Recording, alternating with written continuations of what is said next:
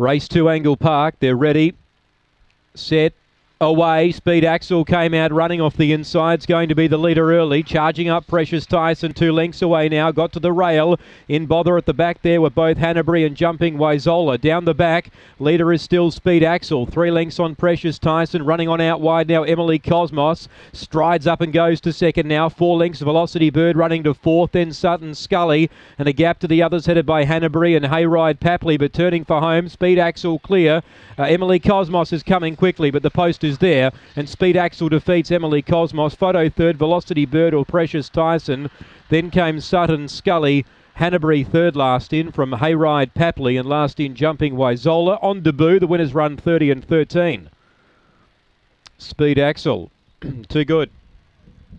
Number one, straight to the lead, getting tired.